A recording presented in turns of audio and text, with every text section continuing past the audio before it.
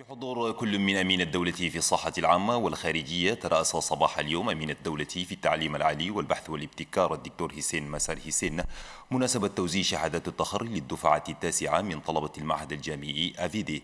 كان ذلك بحضور عدد كبير من المسؤولين من مسؤولين من المسؤولين إضافة إلى أولياء أمور الطلبة فضلا عن المدعوين. وقد جرت المناسبة بدار المرأة. التفاصيل لدى محمد عثمان بشير.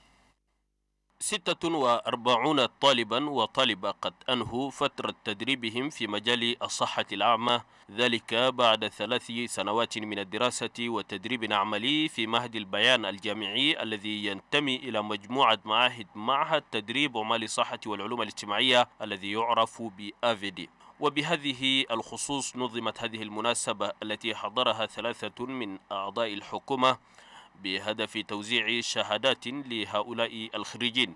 وسميت هذه الدفعة التي تعتبر التاسعة من نوعها بدفعة الدكتورة حواء أثمان جامع حيث قدم أمين الدولة في التعليم العالي والبحث والابتكار بهذه المناسبة كلمة أشاد خلالها بجهود هؤلاء الخريجين. الآن هذا البلد يتوجه نحو النهضة العلمية نحو النهضة الثقافية ونحو النهضة الاقتصادية.